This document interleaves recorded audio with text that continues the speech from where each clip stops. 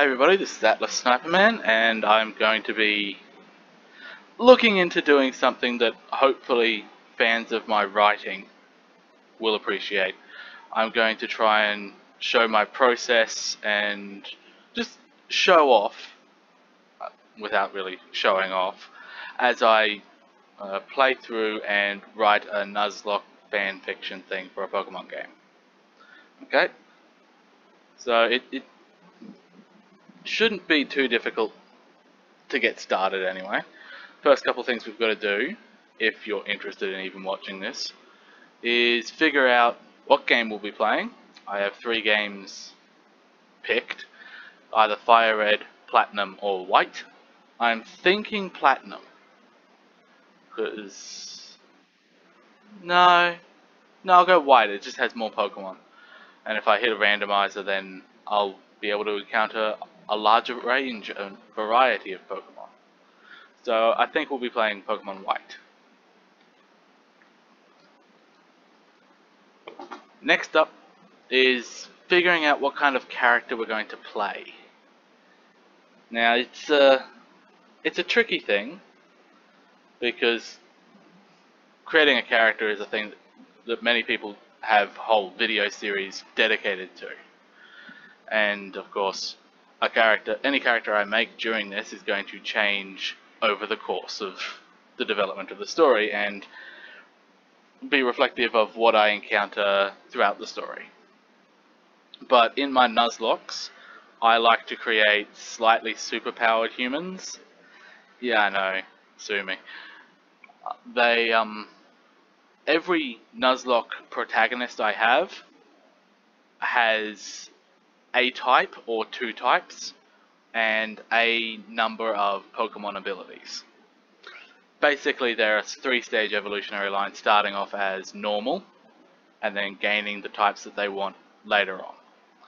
I also like to give all my characters a sin. It just, it's a thing. And an emotion and have them embody that sin and emotion.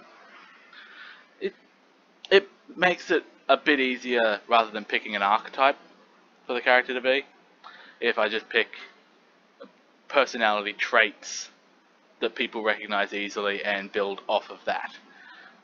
So the things I know that, the, that I'll need to pick out for the character, likely after I start playing a, a little bit, are types, abilities, sin, and emotion that, that's not to say the character doesn't do, like indulge in other vices than the sin they've already got, and that they don't experience emotions other than their main emotion. It's just that they have that emotion most often, or they uh, cause this emotion in other people.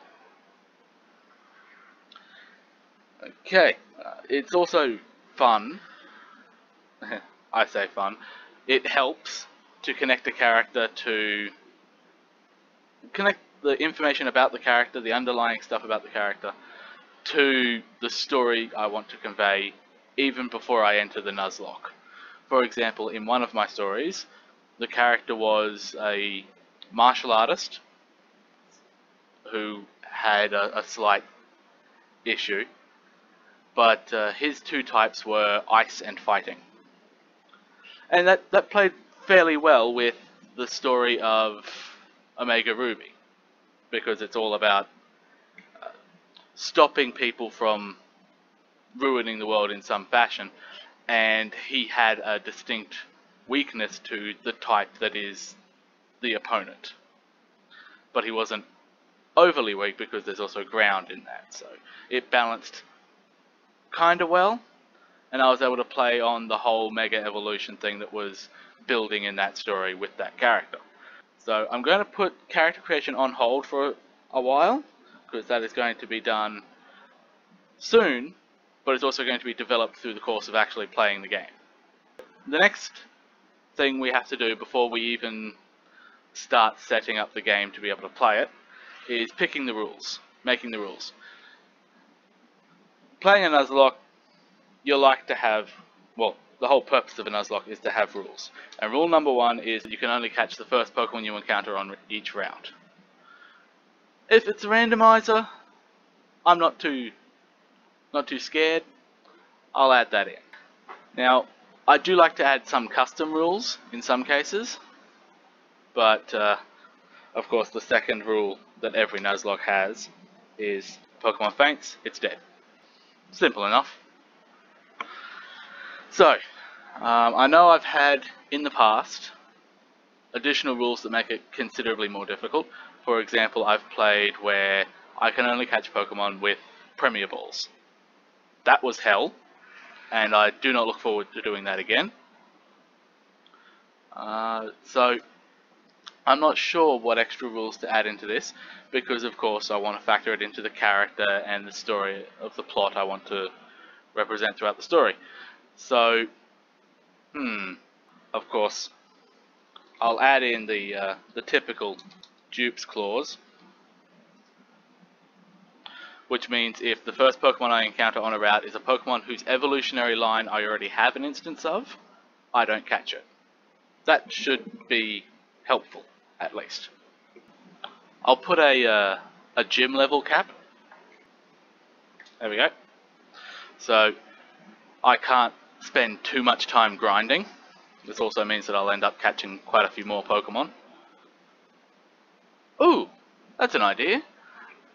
Uh, the, the team in this game are talking about how Pokemon should be released from humans and humans should not have any control over Pokemon.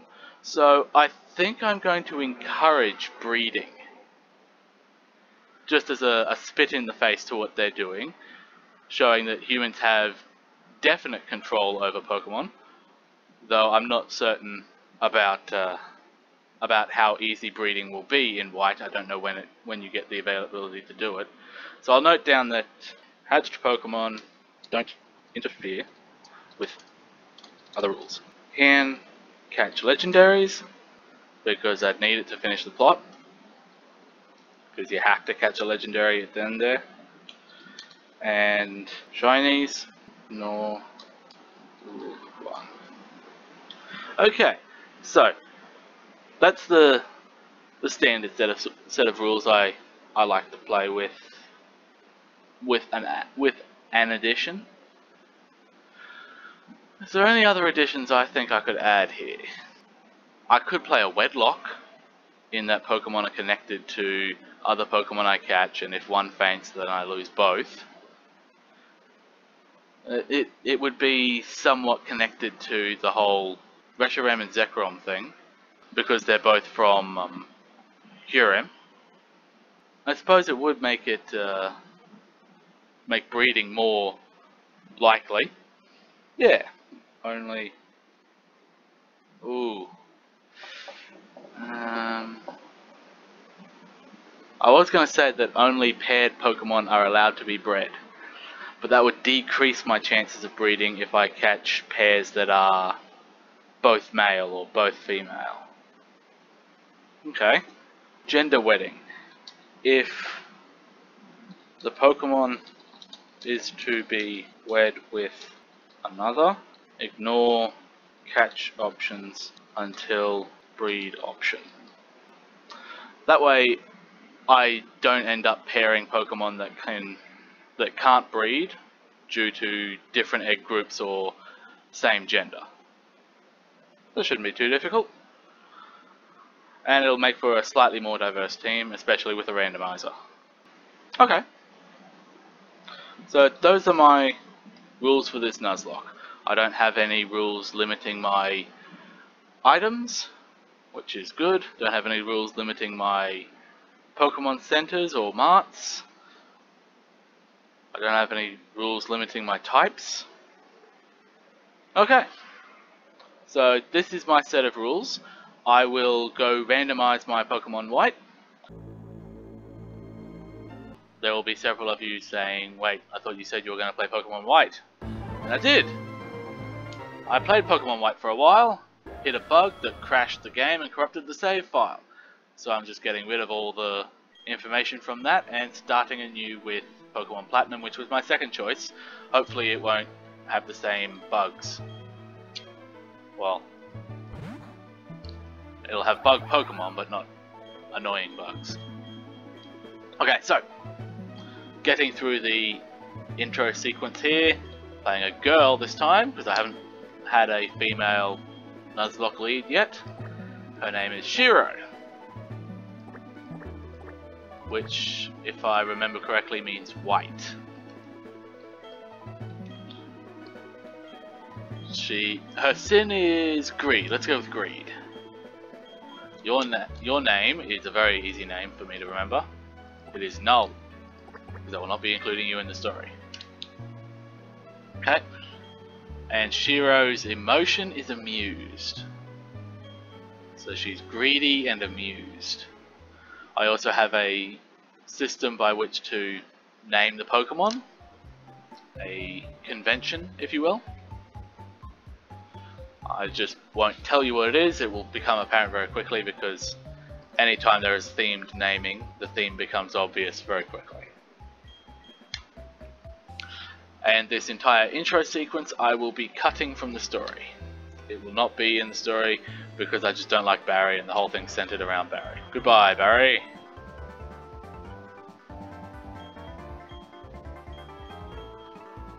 So I'm finding you, I'm finding you, I'm finding you. I don't know why he thinks he can find people. So, my randomizer for this randomizes start Pokemon. Uh, it equalizes XP curve, so all Pokemon will level up at the same rate.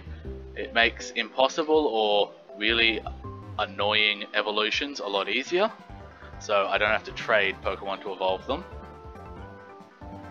Um, what else? Uh, it randomizes Pokemon, uh, trainer Pokemon. It randomizes held items.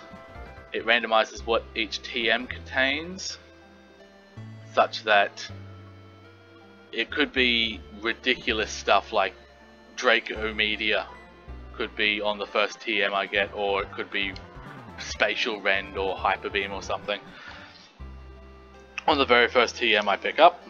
And so I've made it so it's nice.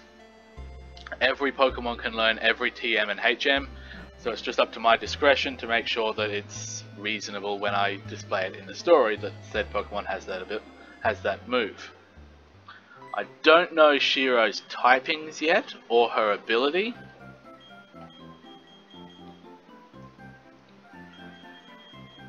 Nor do I know what starters I'm going to be given the option of. Yes, you are Professor Rowan, right? Yep, Rowan. And here comes the second null. Come on, null 2. Oh, look at all the exposition. There he is, second null. And here I go, finding out what my Pokemon is, and I'm going to save beforehand so I don't lose anything. Okay, let's find out what my options are. I always start at the right.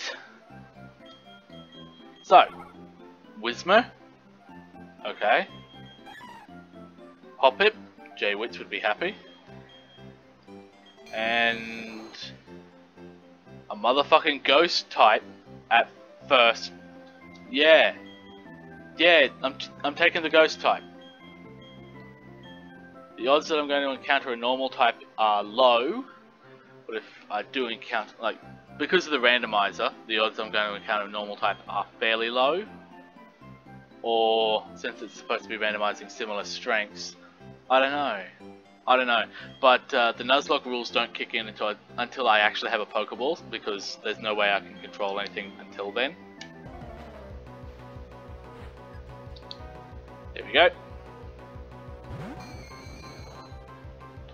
Gastly. Interesting. Well, licky licky. No, no, no, no, no, no, no, no, no, no! This is not good. I'm not excited by this.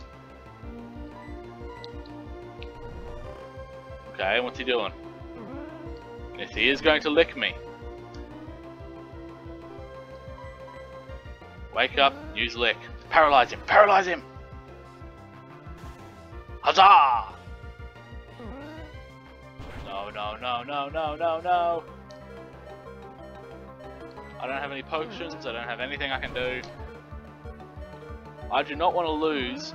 I don't want to lose the. Oh man! Not cool, game. Not cool.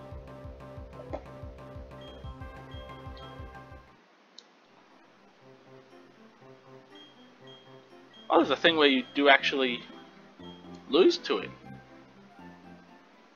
Cool. Never lost to Barry, so I wouldn't know. Bye.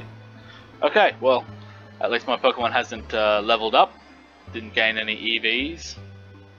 So it'll make checking the IVs a lot easier. There we go. My Gastly is quirky and quick-tempered. Okay then. I'm jotting these down in a in a document to the side so that I can keep track of everything. This does not look too impressive. Have I been dumped with a pathetic Gastly? I believe I may have. I also have a tracker on the side for the Gastly's EVs. So I can, at later times, attempt to check IVs again. And I'll make a tracker for each new Pokemon I add. Okay. Off to the lake we go. Where we run into uh, information that Team Plasma exists.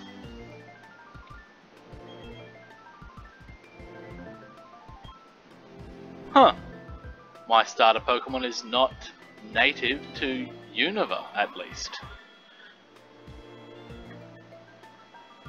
He has, she has a dex entry in all other regions except Unova. Well, a Nash, a uh, regional dex number.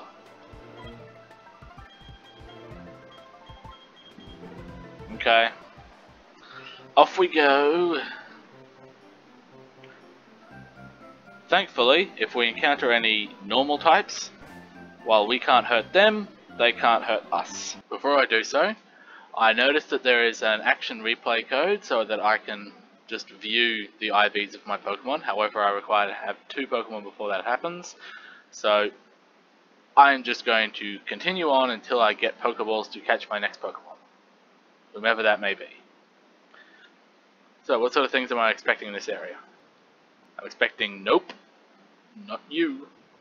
The only way I'd be able to catch you is with hypnosis. Carrying on. Come on, what? Anything good, anything good? No, just another Starly. Of course, of course. It's level 2, so it might be useful, but I can't even catch it because it's not an amorphous Pokemon. Yes, the wedlock is going to be very difficult. I may just remove that rule. And more dialogue. Yay! Okay, let's have a look see, shall we? I figured the most likely Pokemon for me to encounter would have been a grass or water type. Oh yes, the nickname of my Gastly is Inti. Okay, okay, so you're gonna give me your Pokedex? Yes, yes, introducing yourself, yes. Yeah, here we go, Pokedex. Awesome, thank you. Now go! Let my assistant talk to you a little more, and then you may go. What? Uh... Okay, so Rowan is saying that TM27 contains uh, return. Okay. Let's see what TM27 actually contains once I'm finished my little tour of the town. Now, he doesn't give you Pokeballs straight up, does he? No, of course he doesn't. Checking my bag. No. I have to buy Pokeballs. Bag. TMs. Okay then, teaching Psybeam to my Gastly just so she can handle herself against normal types. I need to buy myself Pokeballs. Okay, so, according to the rules, I can only catch the first Pokemon, the first male Pokemon in the Amorphous Egg group that I encounter. Now this will be a slight problem because there's no guarantee that I'm going to have amorphous egg group Pokemon in that grass. If that's the case, then it'll just count as a separate thing. Okay, here we go. Is there anything but Starly in here? Well, it's not Starly. but it's not amorphous. I don't really get a lot of options when it comes to amorphous. Okay. Now, I'm going to kill it. Actually, yeah, I'm going to kill it. And if I... is Am I limited to... Is this uh, route limited to two Pokemon? Because if it is, then I'm limited to Starly or Smeargle. I really don't want it to be either of them because I can't catch them. Or I just ditch the rule. Well, we'll find out. No, I won't track the EVs because I've got the IV checker code. It just requires me to actually have more than one Pokemon. Okay, well, I will go to the lake. The lake will have different Pokemon. Here we go. Verity Lakefront. And you are... Shinx! A cute Pokemon, but I don't think I'm allowed. I'll hypnotize you as I check Verity Lakefront to see how many Pokemon there are available to catch. Um, in the grass, there are two different types of Pokemon. There is either Starly or Bidoof normally. So I do have a chance. But whatever the next non Shinx Pokemon I encounter is, that's uh, it's my only catch option on this on this section. Wish me luck. What is it? It's a Spinarak. I'm cool with that. Well, I have no choice. I'm limited to this. Now. Ooh. Hmm. Will Inti kill it in one hit? Do I want to risk it? I don't know. I'm going to go with Hypnosis. Oh, it's got it's got Insomnia. Yay! Well, I guess I have to hit it with Lick or Psybeam. Now, I'm not 100% on the typings of these things and type effectiveness and stuff. So, let's check its type effectiveness. Spinarak is resistant to fighting, poison, bug, grass, and fairy. Nope. It is weak to psychic, so we're going lick. Okay, that that's that's good. That's a good sign. We can whittle we can whittle him down. Yes, we can whittle him down. Okay. Okay. I'm not going to risk going any further.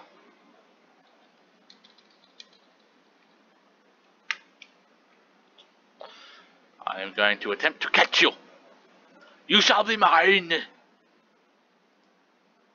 Go! Your nickname shall be... Okay, so I now have two Pokemon. Ooh, beer comes with an item. What item do you have? Tiny mushroom. now I've just got this image of a little Spinarak carrying around a tiny mushroom. It's like an umbrella for it. So this has been a nice long episode that included some hopefully sped up uh, grinding to try and find who is now beer. Hello everybody, Atlas Editor here. Just want to thank you for watching the video and promise that and promising that the next video will actually be of a higher quality. Something more interesting to watch listen to possibly have some background music maybe an intro maybe an outro I don't know.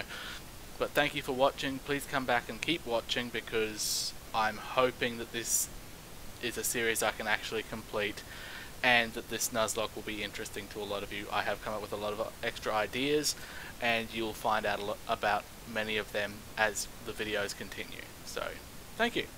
Have a good day.